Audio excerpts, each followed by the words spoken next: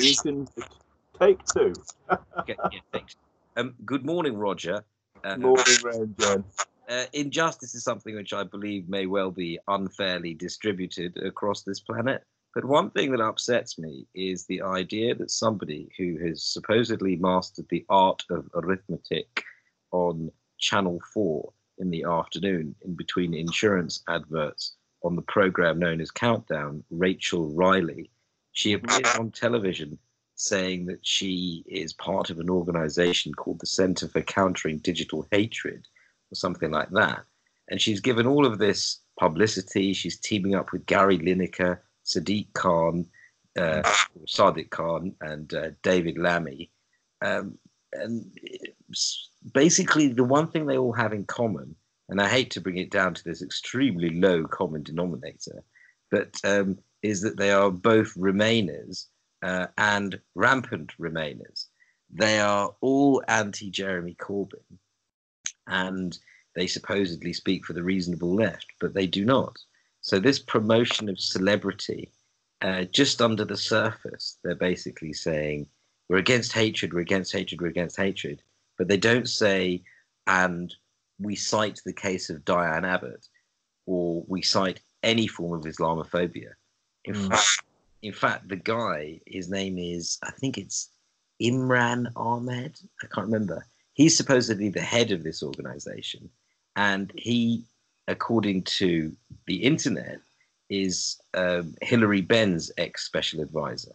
Mm. Um, some of the other people that come up when you look up on Companies House, uh, there's a guy called Morgan McSweeney, an Irish citizen who I believe is the person that created the Better Together campaign, which was used to house the likes of uh, Chuka Umunna. Uh, and uh, there's another person who does theology at Bristol. She co authored something on the government's countering extremist website with David Hirsch. Basically, if you do control F anti Semitism, it's about it's supposed to be about left extremist groups Mm. It says anti-Semitism everywhere. It also says those left extremists were likely to vote Remain, by the way, uh, in smaller print. And um, if you type out I S L A M, that comes up seven or eight times as opposed to about 80 or 90 or 100 for um, uh, anti-Semitism. But Islam only comes up not for Islamophobia, but for Islamism. They, they, they don't even they've decontextualized completely. Um, and uh, yeah, this seems to be the general thrust. So, what with Chuka Umunna speaking at the um, Lib Dem uh, thing yesterday, accusing Jeremy Corbyn of being an apologist for Russia. Um, Oh dear, it, it's it's miserable, isn't it? Really. and somebody and Rachel Riley said, "Oh, I've been accused of being a Nazi and a white supremacist and enabling paedophilia." But the thing is, if you hung around with the likes of, um, in any way, Chuka Umunna and Peter Mandelson and R- what's his name, um, Right.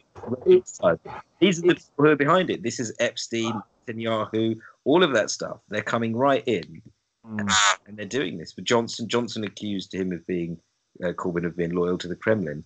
So you've got all of the media channels, all of the papers, and even the celebs. So it reminds me of Harvey Proctor saying, "Oh, you've got to give me compensation because um, I like beating up children." it, it it's degenerated into a kind of tragical farce. Um, I I was prompted yesterday by something to, to quote Burns' famous poem of uh, on a light on a bonnet of the lady in church. Um, and the closing stanza of that is uh, a a gift the gift to give us uh, to see each other as others see us, um, or to see ourselves as others see us. And um, that's the problem with this sort of nasty um, and egotism. It, it, it's simply that um, these people are so busy projecting their own purity onto everybody else. Everybody else is is impure, and I'm old enough to remember the where Mary Whitehouse campaigns, uh, you know, about television and stuff.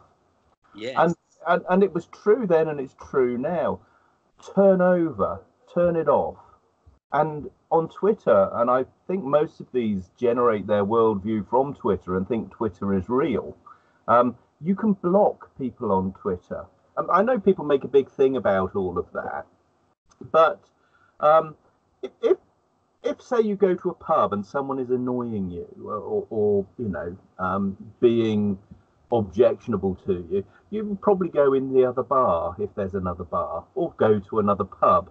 Um, that that or, or, you may sort of you know sort of say look can, can you keep the noise down a bit or something? And then reasonable people will reach an accommodation. And that doesn't happen on twitter. Things escalate. And it's kind of designed that way. And these people, they have a responsibility to set a good example, and they're not doing. Um, with super injunctions and the whole do as we say and not as we do culture that infects this sort of age of egotistical celebrity, if you like. Um, they are the last people that that, that, that that you know we need to be listening to on this. That there was a very good song on the internet four or five years ago uh, called "Thank You Hater," and that was very good.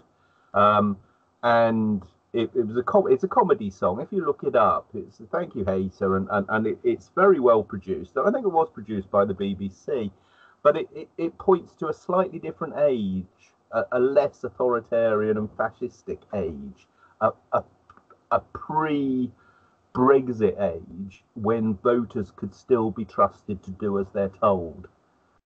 Um, and and that's where this is all headed. this is where this is all headed. It, it's uh, you've been a very naughty boy. Uh, you know, you've been a very naughty girl. They're infantilizing.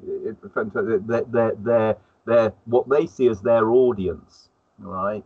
And when politicians start treating the polity as an audience, when the institutions of state starts treating citizens as customers and consumers um, instead of citizens and part of the polity and of the polity, that's when democracy gets into real serious trouble. And democracy is in real serious trouble now. And the trouble is a symptom may be um, certain people being perfectly beastly to, you know, say right Rachel Riley. Um, Diane Abbott has, has, suffered a lot of this stuff, um, and and I, you know, I do feel for her um, that that you know there are you know there are instances of this. You see some of these things, and you think, wow, you know that that what is going on in the head of the person that has done that. Um, and, and you have to question the sort of mental stability of, of, of, people that are doing that. You know, they're not doing it for comedy or shock jock effect or something. There are, you know, there are people who, you know, are, are I, I don't believe in, um, you know, diagnosing people in that way and, and, and, and psychologicalizing everything, you know, that, that that's, it kind of trivializes it, I think. Um, but holding up uh, the rare instances of mentally ill people, I would say, um, and then applying that to the generality and using it as a way to shut down legitimate um, challenging of, of, these people's views. Um, and this is the problem. Um, you know, celebrity is treated with kid gloves, and you know, authority is treated with kid gloves, and they never get to hear the truth. And uh, when the truth becomes defined as hate speech, you're straight back to Reinhardt and his famous dictum: "It is I who says who is the Jew." Yeah, and that is where we're at. Um, you've got uh, That's literally what happened in this case. Mm. Uh, she basically, if you look at her Wikipedia and all of this stuff, she says, I'm an atheist. And then she says, uh, one of her grandparents came over, you know, escaped the pogroms. And then it says that she identifies as Jewish. Now, the person who sat next to her on the Victoria Derbyshire show, the one who was Hilary Benn's special advisor, Mm. Um, I found an article when somebody went around stabbing people in Parliament. This man said, Well, you know, I used to be a Muslim or something like that. You know, my family, I have a Muslim heritage, and I can't help but see the link between this murder and my heritage. And I'm an atheist now, you know. So it's really interesting the way when there's a murder, this man distances himself from his religion or his background and his culture and pushes the line that he's an atheist and all this stuff. Whereas she doesn't have any involvement in anything to do with religion at all, just thinks that she can get involved in online fights by saying that she stands for this. Mm. Um, which, you know, I'm neither of these things. So, you know, I'm not going to get involved in anything like that. But um, yeah, it's a case of what you were saying. She decides who the Jew is, and she says that she is, and he decides that he's not a Muslim, and so they sit next to each other, and no Islamophobia is dealt with. Um, I, I noticed something the other day, Ranjan, uh, which, which surprised me. Um, I noticed that David Graeber did a tweet saying that he, for the first time in his life, had become uh, afraid to admit being Jewish or something. Um, well, I, I, I I d- he I said think it, not some, he wasn't saying someone else had said it. I think he was, and I, I mean, I think he's quite a tough guy. I, I you know, I think he yeah, sort of he was attacking. He was attacking Hodge and Watson, specifically Watson, I think, saying if you go round weaponizing um, people's identity as part of your political, um, you know, one-upmanship, then we become the collateral. And so, what he's concerned with, I think, is what Norman Finkelstein said, which is if somebody generates this idea that the Jewish community, and she, Rachel Riley did this yesterday, is going to leave the country if Jeremy Corbyn becomes prime minister because they're so worried that he's going to kill them, then um, of course people who know that's not true but are Jewish are basically thinking, fucking hell, I'm getting blamed somehow for preventing certain things from happening, which are good. Yeah. You know, you know what I mean, and um, all of that stuff. So I think that is the concern with Finkelstein and Graeber, uh, Norman Finkelstein. I mean, Mm. uh, that um, that the Jewish community is ultimately going to get the blame for something that I mean, many I of them have had nothing to I- do with. I, I think that's a, a fair comment, and I did. did- Oh, do you? a Right, yeah. Same here. Yeah. But the point, the point about it is, is that the, and I think this was David's point. A lot of the people that are indulging in that sort of provocation, they're not Jewish themselves, and so it's all right for them. But you know, it, it, it's, uh, you know, they, they they're not going to have to bear the brunt of it, as it were. So it's a bit like it's a bit like Emmanuel Macron saying, "Yeah, I'll contribute to the coalition war in Syria by sending a few planes over, um, but I don't have to go. My children don't have to go." Uh, Uh, well, yeah, I mean that's that's uh, that's a slightly different question, um, but but uh, okay, that's that's also true. Um, but this this you know the, the um, this is more like the uh, you know you got a bunch of drunks having a fight in the pub uh, and and you know there's always one gobby guy that never gets involved and he's sort of saying oh go on then you know, like, whatever and then someone else always has to end up do the fighting for them right. you know I, I, I equate these people you know with this anti they're more the drunk in the pub sort of you know Mm. Mm. The. This is uh, this paper is in Rasmus's bag, Mhm. And uh, you can see it's just on the first three. Mhm. Never meant to do Mhm. all of those in class. after Yeah. that. Mm. And uh, he stated then with you this afternoon Mhm. or stay behind with the homework help All on right, Wednesday. Okay. And I'll, he said himself would really much prefer to yeah, meet with I'll you. sit it. I'll sit down with him and do it this afternoon. minutes? Yeah. Okay. Yeah. Okay. Yeah. Um. Yeah. Um. Yeah. Matt. So so so, I mean this the whole.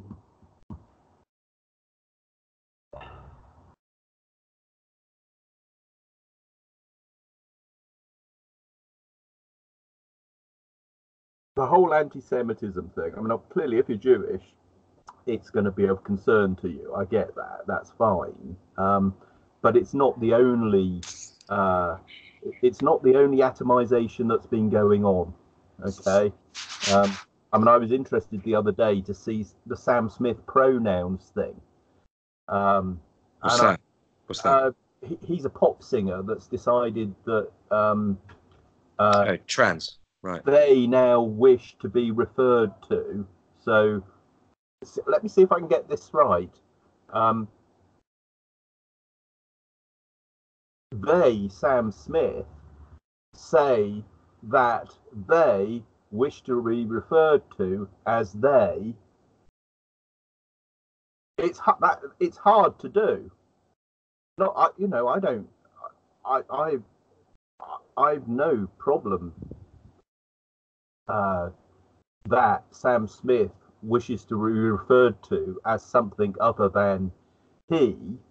Um, I just wish someone would come up with an easier way to do it. Now, in Sweden, there is a word for it, and in Swedish, it's much easier to do because uh, the genders are are uh, han and hon. That's he and her, uh, and they've come up with a third one, which is hen.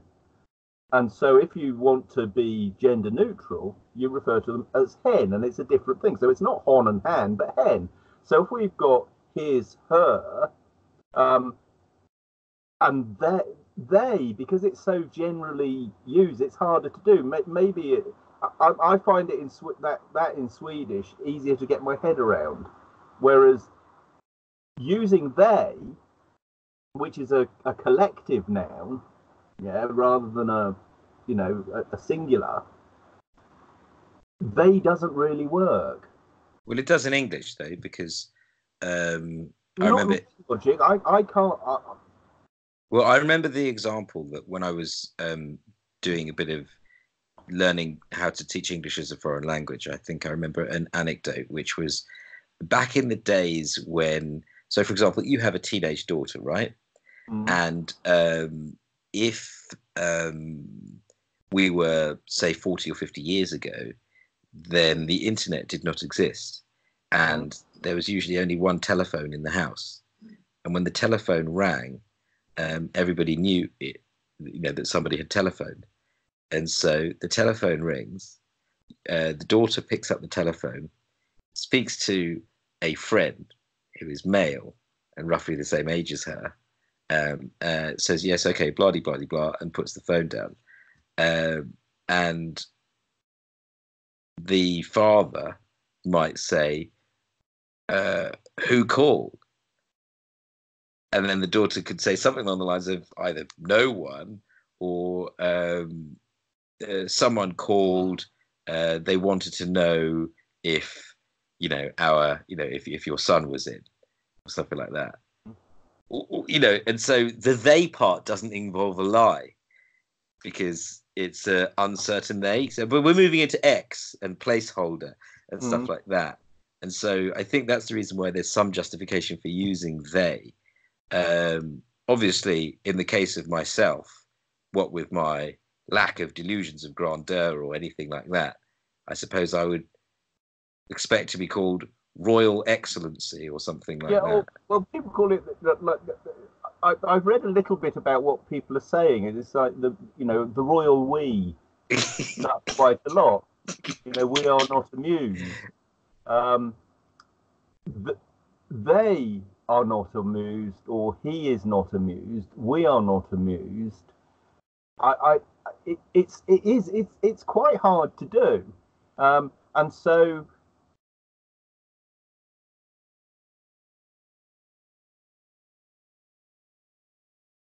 I mean, my my my idea would be to come up with a better word for it, because it's this is completely unrelated, but a similar question. Um, I, I know a whole bunch of anarcho-capitalists, and they describe their sort of nirvana of capitalism or something, and I will always say, well, that doesn't fit any of the categories of capitalism. I know you're not describing capitalism. If you know, I, I, I might sign up to some of those ideas, but not under the heading of capitalism because there are you know there are too many things attached to that word you know that that concept that abstract concept so why don't you come up with another word so it's a little bit like with um, G.K. Chesterton and Hilaire Belloc and, and distributism. Mm. Distributism isn't socialism, it's not capitalism, it's distributism. And, and it's a, a theory of, you know, how you do money and have a, you know, a, be- a, a, a better a better distribution of the pie, right? So Mm. it's not saying it's free stuff for everybody or people get free stuff from their stuff and all that sort of thing. So uh, again, with this sort of neutral pronoun idea, and is it neutral? I mean, it, it, it's um, the point is is that if you are a something else, so you know, if you don't feel like a man or like a woman, you know, it, it, it's more complex than being a they or an it. it that's not what it is. Now, um, I mean, if one is referring to oneself, I mean, it was Kierkegaard that said, "If once you label me, you negate me." And again that's the you know um i mean i i think everybody is unique and everybody is interesting. Um quite often lots of us act in uninteresting ways and say deeply uninteresting things. But you know everybody is unique and interesting. Um all right mate. I'll see you later. Have a good day at school. Bye. see ya. Love you. love you too. So you know that that's i wondered why it was number one such a big story and the thing it re- reminded me of as well was prince being a symbol and not prince anymore because he fell out with his record company and he said you know um you know the artist formerly known as Mm. Tough, tough cap. getting into all of that you know um It, it's funny that you say that because um, uh, surfing around the media yesterday, there were two other stories on top of the Chuka Umunna uh, and Rachel Riley stories that I noticed. One of them was that Sinead O'Connor was on GMTV in the morning. was Uh, she Yeah, she these days is she seemed she seemed pretty well. Yeah, well that's good I'm Yeah. she banged out uh, "Nothing Compares to You." Oh, what a song! What Yeah. a singer. Yeah. Yeah, it was very good. And she talked about how she mentioned that Prince was into pretty hard drugs at the time. And actually, when she met him, uh, I think he tried to beat her up and ran her around. And she couldn't really do much about it because she said she had the same manager as Prince and they were having some massive legal argument and she sort of got in the way. So that was interesting. And they asked about, they said, well, look, you're wearing the burqa or the veil or something like that. Uh, do you want to talk about that? And she said, yeah, well, you know, actually, I've always been, you would have liked this. She said, um, I've always been uh, a theologian. I've always read about, um, ya. Love you too. I've always read about God and religion because, Mhm. you know, I come from a religious country. And I, and she said, I saved Islam till last when I was reading about different books, uh, different religions, because I was so scared of it. Um, and actually, when I got to chapter two, I couldn't believe it. You know, everything made sense. Um, and and so she talks about that a little bit. Um, so that was interesting. Um, also, there was a program Newsnight. So I'm going to have to record that because I don't think that's going to be allowed to stay on the website for very long. Because sometimes they put it on YouTube forever as well. Some Mhm. reports. I don't want to take the risk. This one is about what they call hidden children's homes or Mhm. unregulated children's homes and one of the numbers they said was in the last four years, unregulated children's homes, I think they said unregulated, have gone up by 97%. percent And Mhm. the first thing I thought was the deregulation bill. Why are you talking about? Why have you picked four years? What happened four years ago was the deregulation bill came through. And I remember at the time saying, hold on a second, I can see a clause in here. I mean, I don't go through every law in the world, but somebody had told me that there's a lot going on in this law. Um, and there was a law saying that they would privatize children's homes and the care system and stuff like that. And I remember thinking, I am absolutely not the only person who says, look, I am too old to go to a care home, but I can imagine a child having to do it. And I can't imagine this is going to be run properly under these circumstances, you know, in general. And um, I remember telephoning The Guardian, Rowena Mason, saying, I haven't seen any coverage of this in your political reporting, you know, very little. Um, and they said, well, you know, it's a busy time, blah, blah, blah. So then, you know, nothing happens. I contacted, listen to this, I'm sure I contacted the Children's Society Mm. about this. And now I find out, and they couldn't care less. They couldn't care less. I think that's a breeding ground for um, sort of new Labour politicians.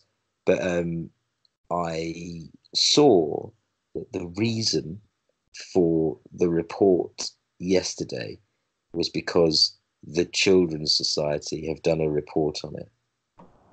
And I just thought, ah, that makes so much sense. If the organization who I went to, I turned to for help uh, in this problem and ignored me, then afterwards, four years later, when the problem has actually got much worse, they then they then take credit for doing the report and stuff and then raise funds off the back of it. I thought, oh, that's so consistent with other things I've seen elsewhere. Depressing, but you know, if you don't get to see it, if you don't do that four year cycle, you won't feel the same pain and insight that you would if you just were a bit suspicious on day one. Mm. Um, so now I've seen that full cycle, and I think, hmm, uh, if there's something that I'm going to grab hold of, I'm far le- less likely to let go of it now Mm. because I'm a bit more aware of what the consequences. You know, four years later, you get this brilliant report into this huge amount of pain, um, which was completely avoidable. Mm.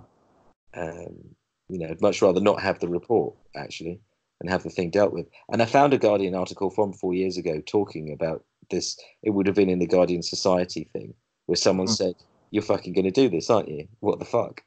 But it's that section that gets ignored. So it means that I'm much more aware that the Guardian Society section and media section will occasionally say really good things Mm.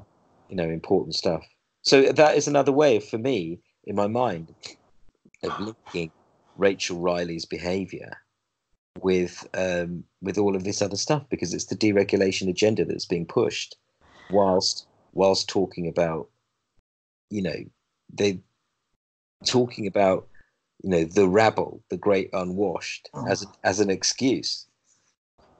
Do you know what I mean? She's saying, all of you lot, you, you poor, uneducated people. I mean, I don't know if you saw, I put a tweet out yesterday. Owen Jones accused Eddie Dempsey. I saw that. I, Yeah. well, I saw. I didn't read what he'd said, but Yeah. I saw Eddie's tweet, which I- I, I- I- I- I- Eddie. I, I replied to it because on something like that, you know, not because I think, oh, Eddie Dempsey's brilliant or anything like that. I've hardly ever listened to him. Um, and I can see why some There's people. a speech he gives on. It's on YouTube, and um, the first speaker is a Guardian journalist. Yeah, no, I know. We're, we're talking about that. Yeah, so yeah, Larry- then it's Larry- Grace Blakeley comes on, and then Eddie Dempsey comes on, and he makes all of them look completely inauthentic, apart from, curiously enough, the Guardian journalist. well, Costas is on there as well. Costas Lapavitsas as well. Yeah, Uh, well, he sent me to sleep, to be honest. I, I, Sure. I, yeah, I mean, he's got he's got he's got very similar views to you though on all of this stuff. yeah. And, well, I uh, sent myself to sleep. Uh, yeah, I mean, I think if you're in the room, he's got he's got serious presence. Yeah, But um, but I think that it's really funny because with him, people don't know what to do because you know he's sort of you know on the spectrum of whiteness. You know, he's from within Fortress Europe, but he's completely against Fortress Europe. So I think people would look at him as if he was a sort of radical Islamist or something like that. They, they, they think of him as being a Brexit jihadi, I'm sure, because he's so off message for the academia and stuff like that. But anyway, Eddie Dempsey, he said. Uh, all that stuff is just. Uh, it's been ramped up to. to it, it has become the Spanish Inquisition. I mean, it really has. Yeah, but, um, but remember, he's on the Brexit side. So that's. I I mean, know, but I'm not saying about him. But I'm saying anybody that sure. Yeah, the conflict. amount of self censorship that's going on, and these people are talking about more censorship, more terror. So you, the Great Terror in France, uh, uh, you know, after the, the Brumaire and all the rest of it, uh, but but but but but also the Spanish Inquisition. You know, you, you you could you can without exaggerating look at this current um, hate speech stuff, and it is a new Inquisition. It Well, is can a I- new Great Terror. Sure. Now, can I just say this? One reason that I think a conversation between us at 7:30 Swedish time uh, goes quite well is precisely. I mean, obviously, I know you've got stuff to do, uh, so supposedly have I. But it is precisely because the stakes are so low. You know, I mean, we're talking about important things in the wider world, but us ourselves, in terms of what we're talking about, you know, we're probably not even going to have a fight. You know, it's just we're talking about stuff. You know, we're not going to kill each other over what we're talking about. Uh, I'm not saying it doesn't matter to us. It matters probably quite a lot more than it does to many other people who wouldn't talk at 7:30 in the morning. But um, when you have, and when this is what I find interesting, when you have people given a platform and they say things that they quite fundamentally believe, then suddenly, with ease, their reputations exist, can be twisted, and suddenly they may say things in ways that they don't really mean or they don't really stand for. And so Owen Jones has basically said that Eddie Dempsey has sympathized with people that turn up at a Tommy Robinson rally and that those people are fascists and that Eddie Dempsey has said um, that those people rightfully hate uh, liberals or something like that. And so I said, because I thought, oh, look at this. This is major escalation here. So I said, um, I mean, don't get me wrong. I mean, I didn't say this, but don't get me wrong. I'm sure a Tommy Robinson uh, protest is a great place to identify fascists if that's your game. But I think that there's going to be loads of people, or certainly some people. In recent weeks, the best place to do that was to go to the Lib Dem fucking conference, mate. Well, I mean, Chuka Umunna, his speech and everything like that. Yeah, exactly. Um, and just looking at the crowd. But also, I think that um, there's going to be people who have not fared well under the last few regimes and are looking for anything that is going to bring about change. Mm. And if you get if you are told that you you know your either your town or whatever it is basically all your prospects are gone whether you live in london or nottingham or wherever. All your prospects are gone. All the things that your parents and their parents did you can't do any of those things. Um, we're just going to say right okay what's going on? You know education system is terrible. Yeah. What what what this is all being presented as, Ranjan, is as if it's democracy a la carte. That that that's what it says on the tin. When what we really have is uh, the, the, the table de hotel. You know, it's a set menu. Now, everybody's talking as if there are still discussions about what the choices are, right? And this is a a first order mistake in uh, in, in, in logic. Right okay so there is no choice the, the, the- there is no choice you mean Yeah, what, what the the the establishment, okay, they know what they want, okay, and as they are in control of people's lives, you know, they just are. State monopoly on violence, and also uh, complete and utter control over credit in the economy, with basically most of the population are debt peons.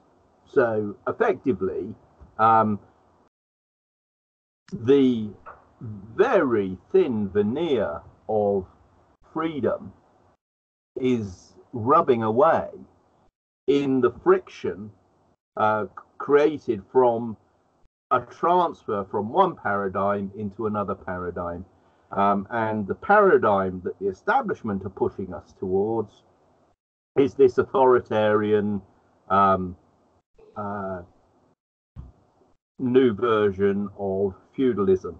Okay, there is a choice, and it's quite easy to implement the other choice.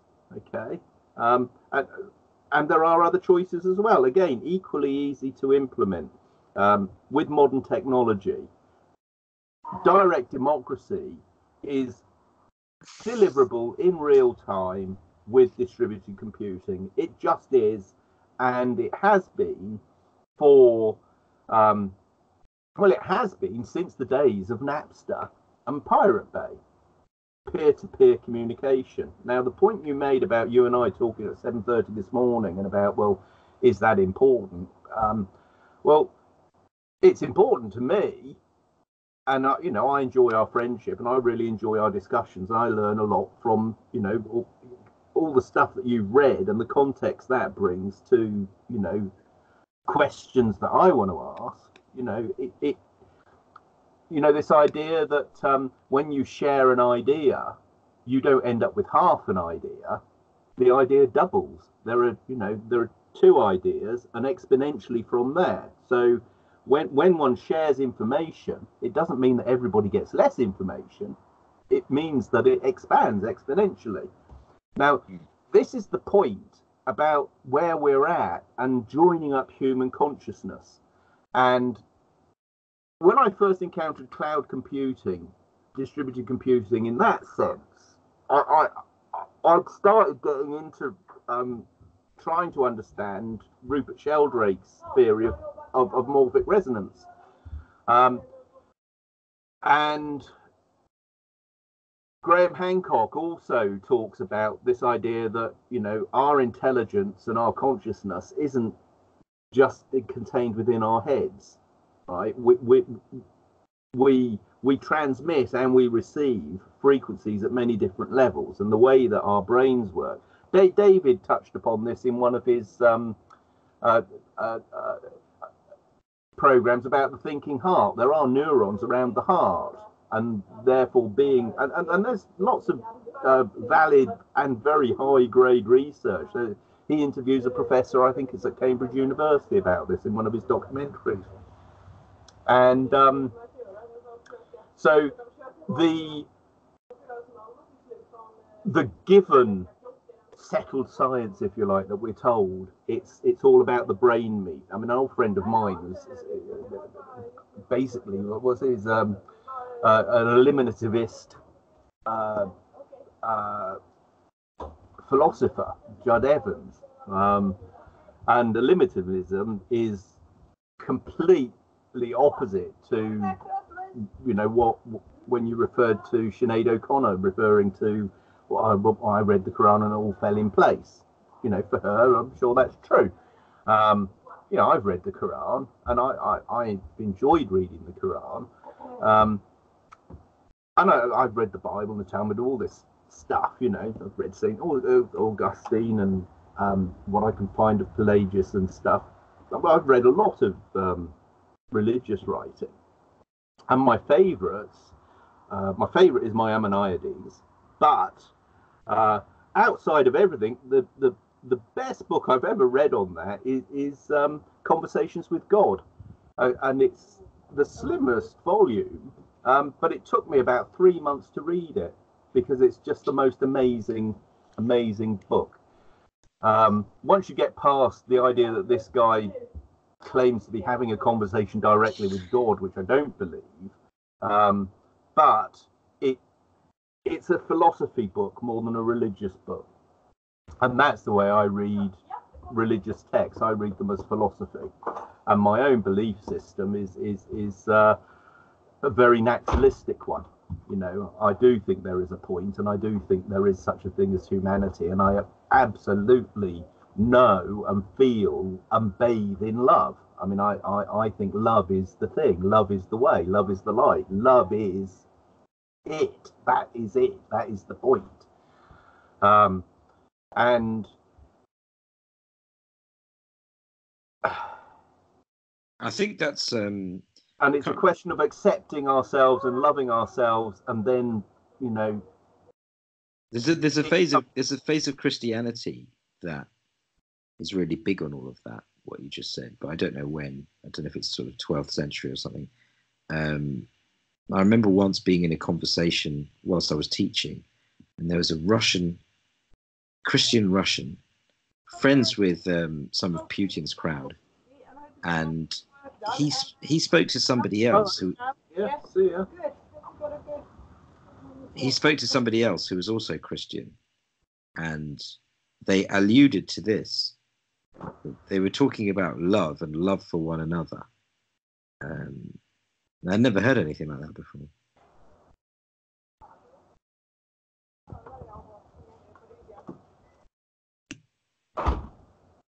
Hello. Yeah. Um, I'm just saying, I remember hearing a conversation between two Christians, but of totally different, you know, persuasions. One was probably a Russian Orthodox, and the other one I think was Spanish. And, you know, one of them was saying, "Oh, yeah, you know, something about man's love for for the rest of humanity, or something like that." But I don't know if this was an old form of Christianity or something. Can you shed any light on that?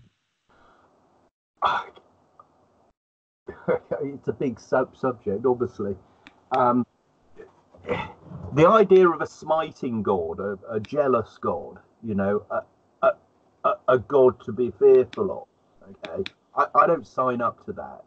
Um, the idea that God is some sort of egomaniac makes no sense to me whatsoever. You know, um, now there's a play called Cenodoxus, which was written in the 12th century by a monk, um, uh, and I think he founded one of the uh, one of the orders of monks or something. But Cenodoxus is a precursor to things like um, a picture of Dorian Gray and, and, and Faustus and you know Marlowe's Doctor Faust and stuff Ooh. Um, and it predates that. Uh, but basically, the story is this very pious man dies, and his soul isn't able to go to heaven. He, he, he becomes the undead because he's committed some terrible, terrible crime, and the crime which he's committed is the crime of pride.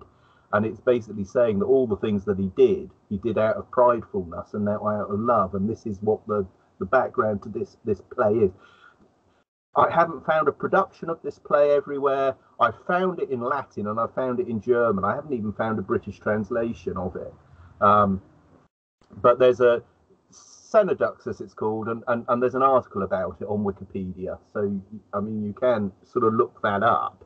Um, but there's a whole strain of theology. There's revolution, revolutionary theology, and there's also the, the, the strain of theology that says that Christian teaching should get back to the Gospels, and the Gospels are about Jesus. Now, my take on Jesus, and Jesus is obviously a Jew, right? And so Christianity is basically Judaism. But even um, even before Christ, you know, there, there, there, there, there still was that strain of religion. Now, I uploaded the other day a documentary called The Last Druid, um, which was made in 1986. And it's very interesting because this Last Druid guy talks about Pelagius, or Pelagius as I call him, um, who was an Irish monk, who was a contemporary of St. Augustine.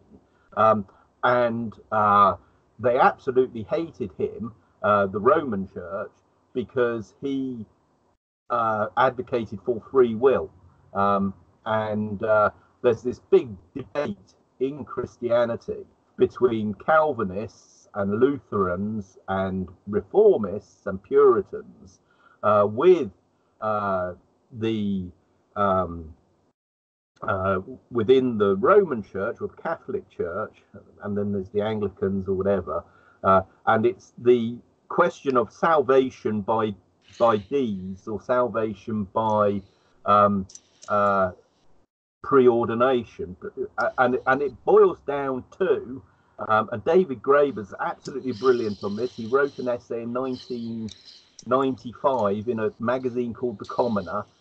It was about John Kerry and why John Kerry lost to um, George Bush II.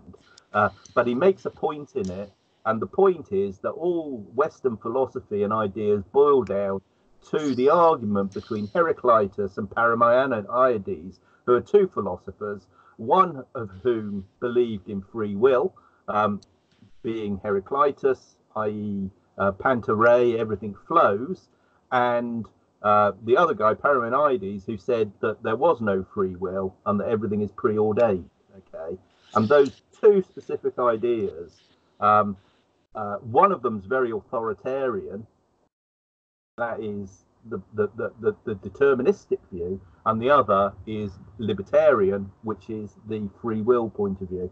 Now, I'm a Pelagian, believe in free will and all the rest of it. Um, I think essentially all Mohammedans, uh, what we call Muslims, um, regardless of whether they're Shias or Sunnis, okay, um, all Christians, regardless of denomination, and all Jews, you know, um, all people who love God, okay, so, you know, uh, love people of those other religions as well, but also people who aren't of them. I mean, it, it's not uh, the idea that that um, because you get on your knees to God, that God is going to look upon that as as being some sort of you know, um, it's not. God is non-corporeal. Okay, it's it's another idea, um, and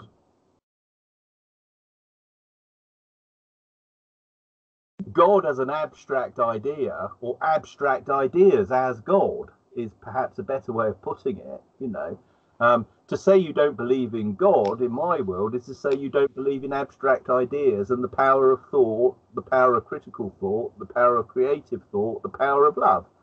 Right? For me, that's what God is, and I see God in everything, in everyone, and in nature. Um, but also, you know, I see people struggling with choices every day, and we all do that too. Um, and um, I mean, it was. Uh, I mean, Jesus. He said lots of good things according to the Bible, but one of them was removing the plank from your own eye before you take the splinter out of someone else's. You know, the, the mote. It's, it's, referred to as a mote.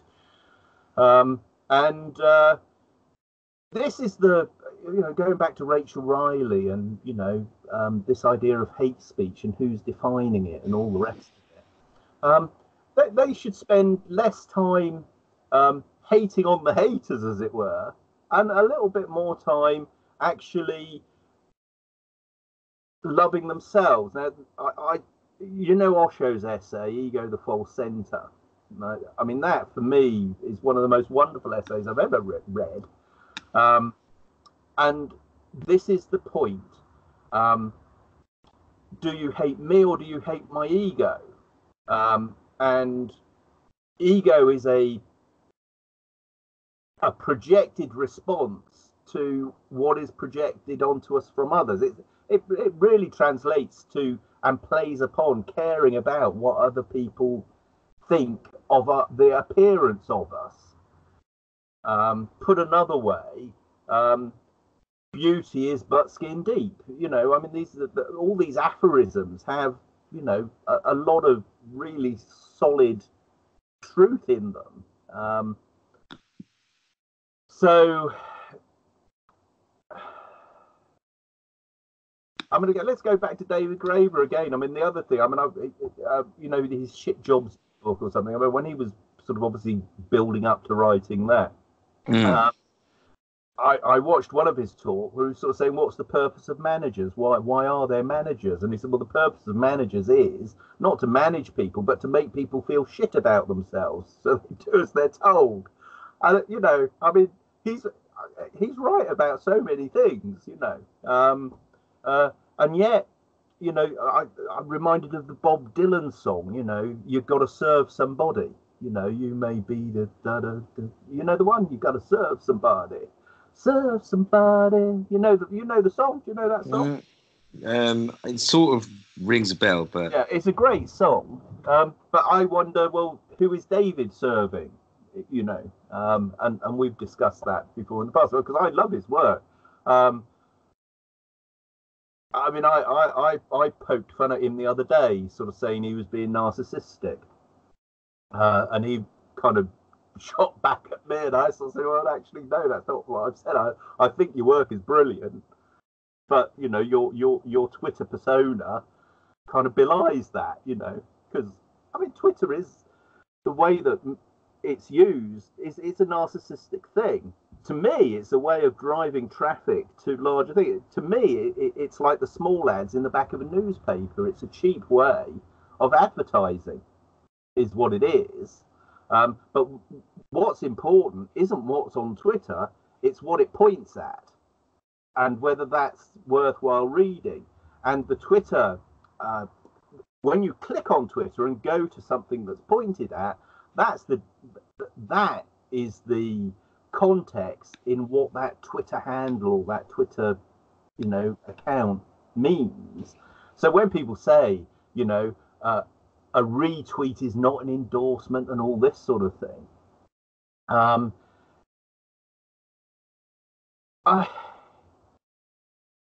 the the kind of the social manners that grow out of that and the meaning that people sort of bring into it, it, it is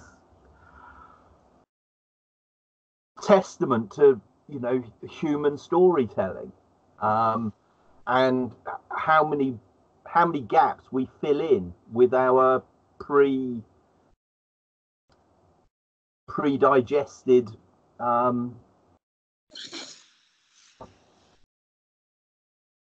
views, as it were. So, I. So just to just to be clear, you're saying everyone's got to serve somebody,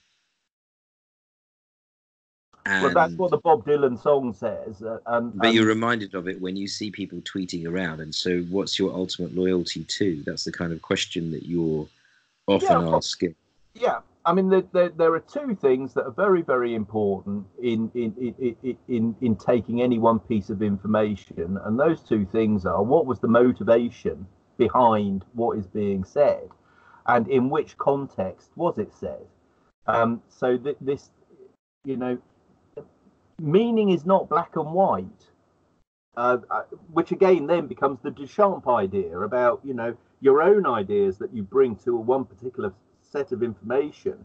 And John Lennon said this as well as David Bowie and all the rest of it. Is someone asked John Lennon what what does that song mean, and he says, well I I don't know. What does it mean to you? Because what it means to you and what it meant to me when I wrote it are two different things. And that well, I think I think in the case of John Lennon, it means I was able to buy a swimming pool. Well, I, I mean that's uh, what do you call it? a, a, flippant kind of. Uh, do you see what I mean? I mean it's a trivial response to. I mean the one thing that intrigued me some time ago. Um,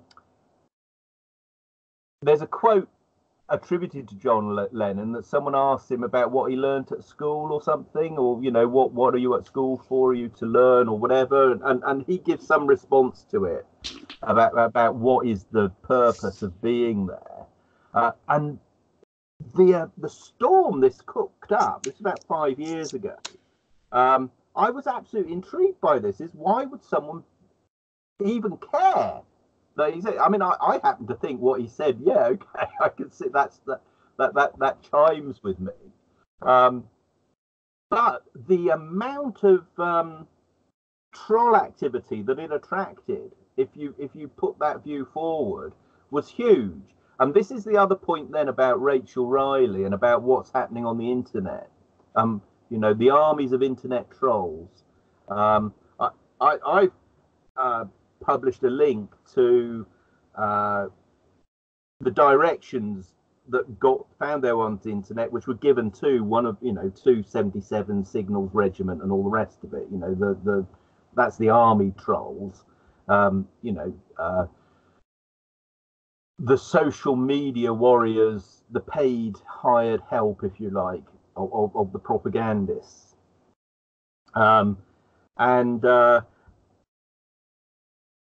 our internet activity is closely managed, herded, and and and um, and celebrity is doing a job. You know, celebrities are not thinking. I'm not saying they're not capable of thinking and don't think, but what they say when they come on TV screens or what they put out is managed. And it's managed very carefully. And it's this is really clearly seen. Um, if you look at the Skripal interview uh, with the guy from Porton Down, who's the ex-telephone salesman that somehow becomes the director of communication of the, you know, the weapons, chemical weapons establishment uh, thing, them Down, um, and there are, eh, um, what's he called now? Um, oh, the ex-ambassador, um, Samarkand, uh, Craig Murray. Craig Murray says, well, if you look at it, you can see there's a cut in it where he's not given the right idea. So this is about Bojo as foreign secretary, basically saying, well, yes, of course, you know, Novichok of a type made in Russia. That's all this stuff, right? Um, and uh, this guy, he's red in the face and he's obviously been directed about what he is to say, and he's clearly out of his depth, right? Um, but you know, I, he was clearly under some sort of threat of a David Kelly type of moment in the woods if he didn't get his lines right. Um, and the degree of um, dressing and product placement that is in the news media, which is put into the mainstream for general uh, teaching purposes, you know, to teach us all to be good, quiet citizens, to talk when talked to, all of that stuff. Um, it, it's all on display, and I, I think this anti-Semitism, Rachel Riley, Gary Lineker stuff is all part of that. Um, and it has become absurd. It's become completely absurd. Um, and uh, I'm reminded the article that appeared in um, Off Guardian about uh, propaganda, why it doesn't need to be even convincing. Uh, the point of propaganda isn't to convince anyone of anything, it's actually to see if people are sufficiently compliant just to regurgitate it. And that's all your job is. You don't even have to believe it, but you have to uh, in the same way as when O'Brien is torturing Winston in in uh, in 1984, and he's saying, "How many fingers am I holding up?" Uh, and he's holding up four fingers and saying it's two, and he gets Winston to say, "You're holding up two fingers," when everybody can see that it's actually four, and that that is what's happening. It's that. Amazing. Roger, I think it's a good time for me to get some exercise, get out of the house a little bit. But um, yeah, brilliant talking to you. Um, how's the whole wiki thing happening? Uh, busy, busy, busy. I mean, I've, I've done. I did a live a live stream this morning. Um, I'm playing with Beaker browser and the Electron browser, um, which are implementations of peer-to-peer computing. Um, which are similar to Open Internet Protocol, um, but aren't but don't need any cryptocurrencies. Um, and I've been having a discussion with um, uh, Devon about indexing and why why why does the indexing need to be in a blockchain? I, I am not convinced that it needs to be in a blockchain.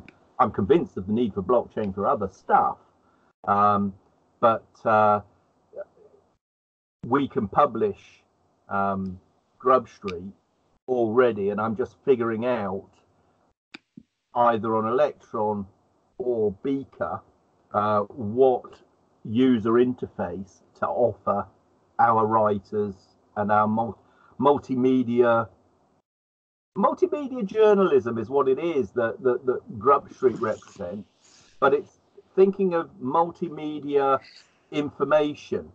Um, and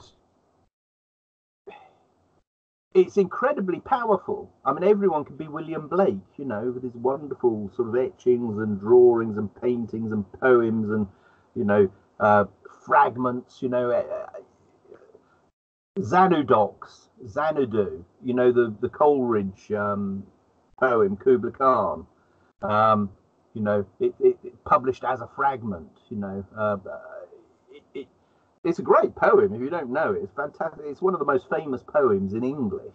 He was a big, um, he was a big um, opium smoker, right? Yes, yeah, he smoked opium. Um, this is so. This is the mixed race Samuel Coleridge, Samuel Taylor Coleridge. You're talking about. I because there's two, aren't there? There's there's two Coleridges, aren't there? There's a Samuel Taylor Coleridge, and there's another one as well. It's Samuel Taylor Coleridge, as I'm talking about, who wrote um, who, okay. who wrote Kubla Khan, the poet. Yeah, sorry. So tell me about the fragment thing. Yeah. Um, and uh, it's a it's a poem about poetry and a poem about meaning and a poem about all the stuff we're talking about about um, how people perceive information the intention behind the motivation and the context, how important that is. And when I first got into context and motivations, actually, in arguing about algorithms and, and, and, and people saying that algorithms are some pure expression of scientific truth. And I was at pains to point out, actually, no, they're not, because you have to have limits in any algorithm for it to have any any uh, any worth whatsoever and the limits are basically come from the motivation and the intention of whoever it is that's defining the limits within which the algorithm takes its inputs, as it were. Um, and so, no, mathematics is actually a matter of opinion, a matter of art, taste, and, you know, fiddling around the edges, if you will. Um, then you get into trouble. You know, you, you you run into the danger of people saying, "Oh, that makes you a moral relativist or whatever." actually, um, to me, I think those are all separate questions. When it comes down to uh, the question of, you know, is maths discovered or is it an artifact, as Stephen Wolfram thinks it is, I think it's an artifact, um, and it's not discovered. It, it, it, it's you know, it's invented. It's a way of describing stuff which ultimately is indescribable, but we can take we, we can describe a snapshot at certain points in time and make some valuable predictions from that. So does, does that mean does that mean that you're a Platonist? No. Um, Do you believe that numbers are real? No, I mean, I, I, I mean, I, they're, it, they're, it's their abstract thoughts. Language is, is, it, it, it, it's very, yeah, it's very interesting. It's a concrete representation of an abstract conceptualization. So you're more, so you're more of a, a Locke person. No, not really. I mean, I'm, I, I, I um, it was Hume that refuted Bishop Ber- Berkeley by um, kicking a rock and saying, "I refute him thus." right? Mm. Now, i.e., the material world does exist because you can break your foot. Are you, know? you are you a um, non-dualist?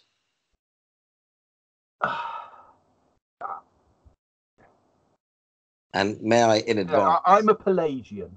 I believe in free will. at, at, its root, that's you know. So and and, and I, I'm also a very keen student student of Maimonides, okay, um, but also of Avicenna and all this sort of thing. Can you send me? Can you send me a couple of links to these things? Um, yeah, well, I can do, but I mean, I um, I mean, I write about lots of these things in my blog. I mean, it's it's all in there. Um, but um, All right. I tell you, the last Druid guy, the last video I watched, and he, he mentions Pelagius, and it's really important what he says. I mean, I wrote a blog about um, Brexit to do uh, uh, uh, uh, quoting Tacitus and um, talking about the Roman invasion of Britain and how they basically c- civilized the Britons by you know giving them bells and whistles. You know, um, things that they called civilization were actually just emblems of their enslavement. This is this is Tacitus talking about the, the second invasion. By- Roger, Roger. by The thing, the thing is, if I have a conversation with you, then um, I find it not that difficult to follow you. I think, but if I read a blog post, then I think what I find is, or even a social media, anything where you have to sort of interact with people online, I see basically you do sort of remind me a little bit of Ezra Pound. And um, when I say that, you know I have a lot of time for Ezra Pound. I, I, I take that as a compliment. Yeah, good.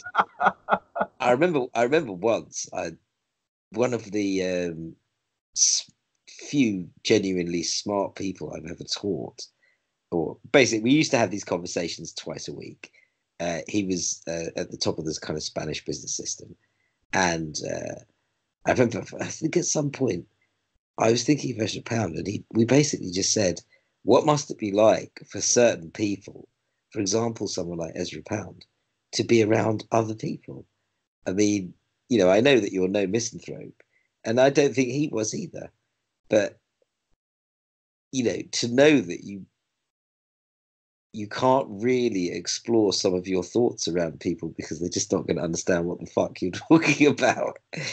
Um, then afterwards, I mean, I know that I've tried to be much friendlier in the way that I write, and I'm sure that people will still look at it and say, "Well, like that."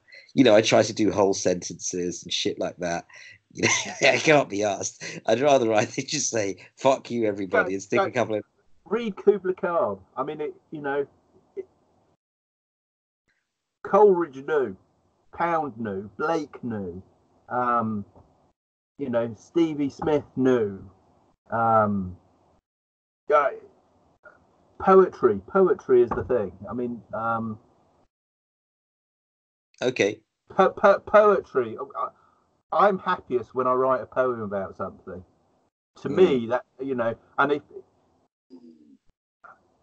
and then it's there, and I can then I'm quite happy to talk to anyone.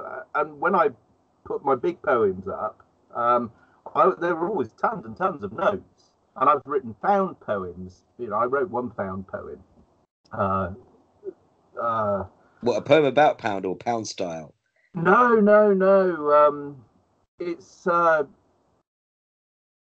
the one about globalization, and it's basically made up of, of snippets of stuff that I've read and placed in this found poem. And I quite like it, but it, as you go through it, it starts off as a poem, lift and miss from the poet's page, and all this sort of thing, which is a quote from um, uh, W.G. Wells. Um, HG. before I before I wrote that poem, I read every single word that Wells ever wrote um, of non-fiction, every single fucking word, and and that's it's a bit like Will Cuppy, who wrote The Rise and Fall of Just About Everybody. That's how he worked. He, before he would write a single word, he wanted to, you know, find, you know, just just to think, right, okay, I, you know, so I'm not interested in what other people think. I'm interested in where it fits in the universe. Right. And to me, what I'm doing is I'm just transmitting my thoughts into the morphic resonance space. And it's for other people to figure out what the fuck it means because I don't fucking know. Brilliant. I think I shall have to adopt a similar approach, actually. Um, the morphic resonance. I mean, I saw Rupert Sheldrake came up in something that I was looking at again the other day. Uh, he comes up quite a bit. I think somebody, somebody, so a friend of a friend sort of knows them. Um, but again, I'm sure the Morphic resonance view would be that that really doesn't matter. um, cool. Um, Roger, Good Have a- talking. yeah, have a brilliant day. Catch up soon. Thanks. And you. Take care. Thanks. Nice hearing Cheers. Bye.